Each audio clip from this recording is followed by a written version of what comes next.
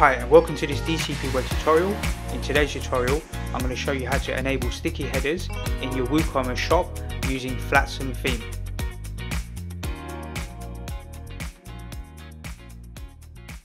Okay let's go ahead and open up the web browser and if we go to this particular website that I'm building for a client it's just a demo site at the, at the moment. And if I scroll down you can see this top section actually disappears as we scroll down. And we want to make this static so that it's always there.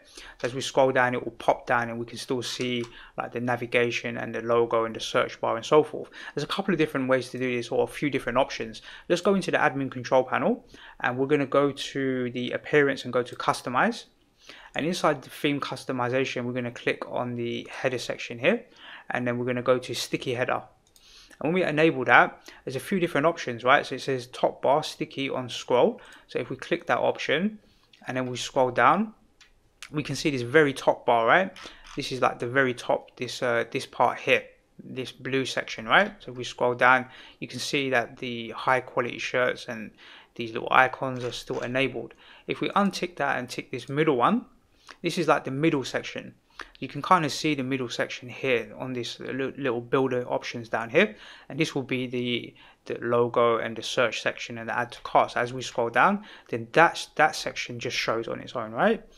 And then the third section if we undo that one and click this one um, it's header bottom sticky scroll right? So this is the bottom of the header which is the navigation. Now when we scroll down we see the navigation.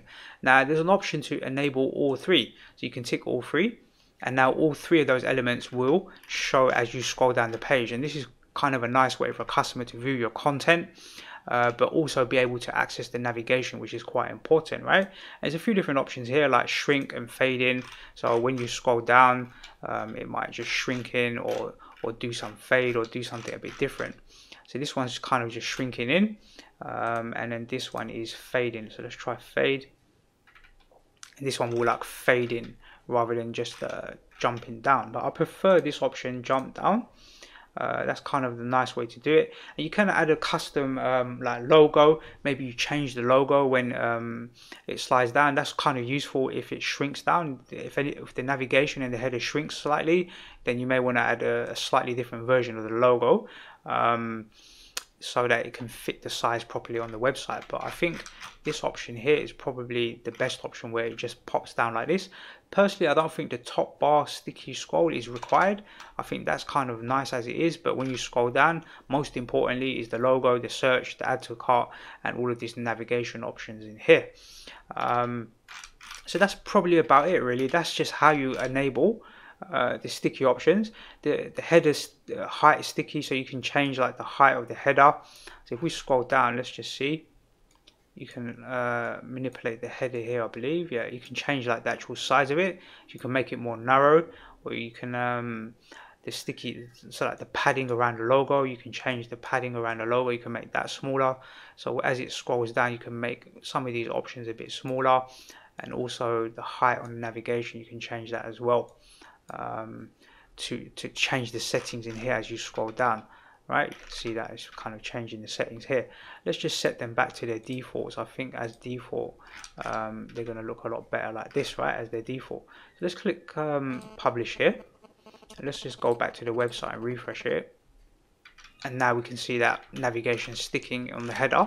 So it doesn't matter where we go if we click on a product if we scroll right down click on this product and as we're scrolling down this header will stay static right? And we've got kind of got rid of this blue bar which I don't think is necessary on the scroll. When we scroll down I don't think it's that necessary to have that there. You can see at the top. And you get kind of get this little pop up at the bottom. So when you scroll past um, the product options here that will also show down at the bottom down here. You can see that right? Okay that's how you go about enabling sticky headers in the Flatsome theme.